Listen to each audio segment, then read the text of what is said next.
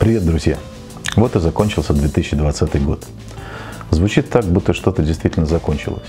Будто год это такая папочка, которую мы закрыли и убрали в шкаф.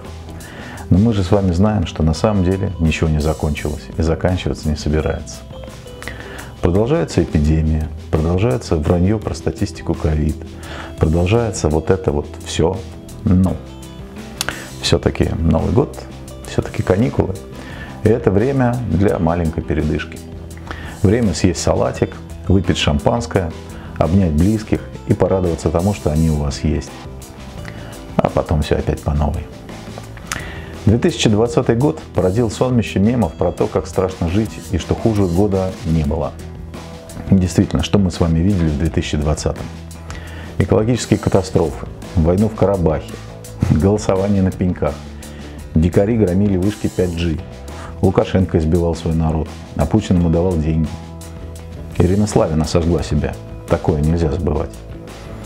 Вообще, кого-то травят, кого-то сажают. Да еще этот бешеный принтер на нам прямо под новогоднюю елочку.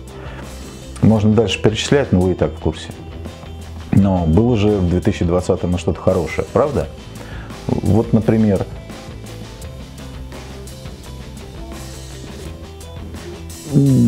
у Сереги жена двойню родила. А если серьезно, мы многому научились, ко многому приспособились, многое узнали и, как это не банально, стали сильнее.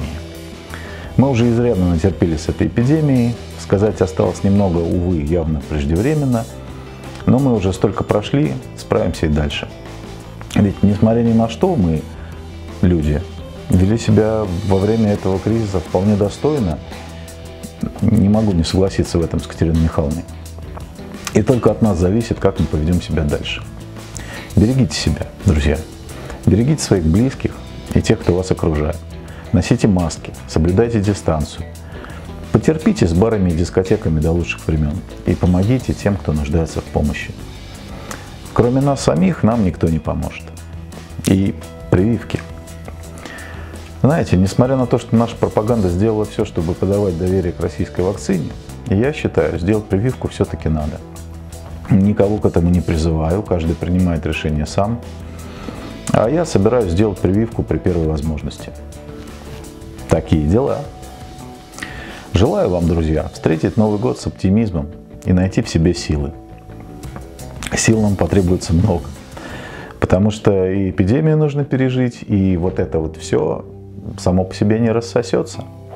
Так что поднимем бокалы и пожелаем друг другу в новом году здоровья и счастья. С Новым годом, друзья! И не болейте!